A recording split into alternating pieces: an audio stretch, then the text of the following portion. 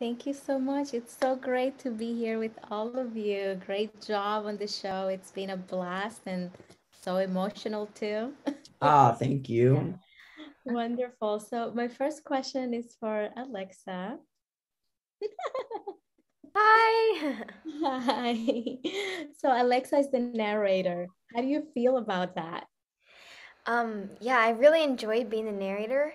I think it fits Alexa's character. I mean, she's an observer and an artist and kind of somewhat an introvert.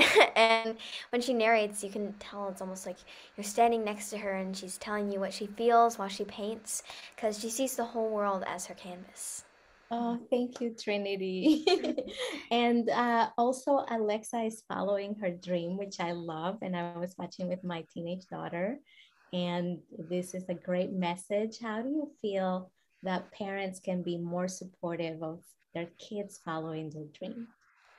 Um, I think one of the great things about, I mean, the Huh Garcia family and the Garcias in general is that they all are really supportive of each other and have each other's backs. And I mean, it's also, especially to my character Alexa, it seems like my dad doesn't want me to be an artist and is butting in, but of course he's just trying to protect me um, and also, that's something that Alexa goes through to figure out how to follow her dreams and withstand negative feedback. I love that. Great, great scenes with your on-screen dad for sure. Mm-hmm. And and with that, you're returning, Jeffrey, to yeah. the Garcia family. Brought me out of retirement yeah, congratulations. How does it feel? I know that everybody asks you that, but I have to know for myself. it, it it really is just the biggest like blessing in my life right now. I I couldn't be happier to uh to be a part of this show and cast and um and yeah, it's it's an amazing feeling. Yay. And so you, Elsha and Jeffrey, as a interracial couple are being bringing this mix of cultures and traditions. Why do you feel this is important for the audience and what do you hope they would take away from from this? I feel like it's just so important to see that on tv you know the mix of cultures and that that is normal. So many families look like this and so i think it's so great to see it on tv yeah. yeah. being able to identify with with these characters and and you know representation for for all these people um you know that that might be watching i, I think is is going to be key. Yeah carlos and yunjin are my favorite couple. Ah thank you. They're mine too my favorite. Yes.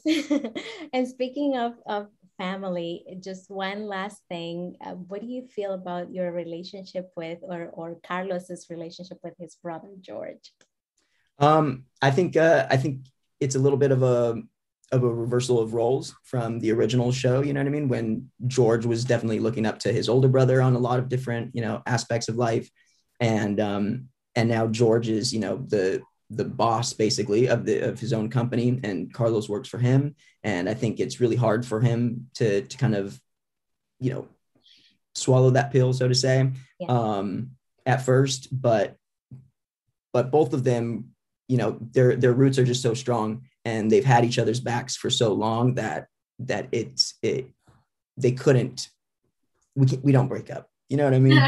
We can never break away from each other. Yes. Oh i love that. Thank you so much. I'm really enjoying the show and have fun at the premiere tonight. Oh thank, thank you, you so so much